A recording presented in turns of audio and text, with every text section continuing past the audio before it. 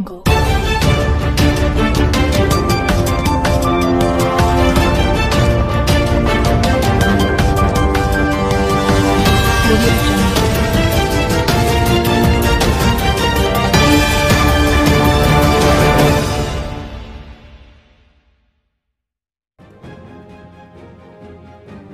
भरतपुर पर्यटन विभाग द्वारा आयोजित ब्रिज महोत्सव में 5 मार्च को डी के जल महलों में रंगीन फव्वारे चलाए जाएँगे। इस दौरान ब्रज महोत्सव की तैयारियों को लेकर डी उप जिला कलेक्टर सुमन देवी ने अधीनस्थ अधिकारियों के साथ जल महलों का दौरा किया है।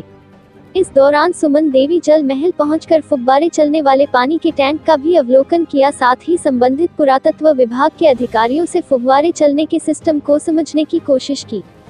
इस दौरान उन्होंने पुरातत्व के अधिकारियों को कहा कि फुब्बारे संचालन टैंक की पानी की क्षमता चौसठ घन फीट है, इसलिए इसको पूर्ण भरने की कोशिश करे, उन्होंने कहा कि टैंक को चार और पाँच मार्च को मैं कभी भी देखने आ सकती हो। आए उन्होंने टैंक के लीकेज सहित टैंक की साफ़ सफ़ाई के भी अधिकारियों को निर्देश दिए। उन्होंने कर्मचारियों से कहा कि इस कार्य के प्रति लापरवाही न बरते, अगर लापरवाही बरती गई तो संबंधित कर्मचारी के खिलाफ कड़ी कार्यवाही की।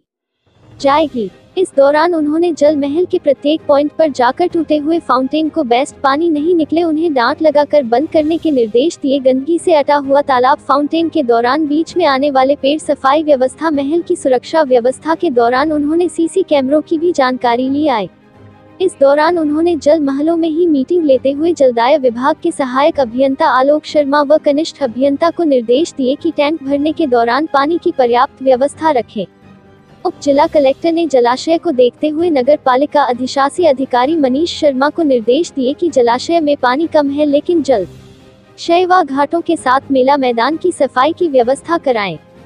उप जिला कलेक्टर ने सुमन देवी ने कहा कि ब्रज महोत्सव की सभी व्यवस्थाओं की समीक्षा अगली मीटिंग में की जाएगी अवलोकन के दौरान कार्यपालक मजिस्ट्रेट सोहन सिंह नरू का अधिशासी अधिकारी मनीष शर्मा, सहायक अभियंता आलोक शर्मा, पुरातत्व के अधिकारी सहित अन्य विभागीय अधिकारी चल रहे थे।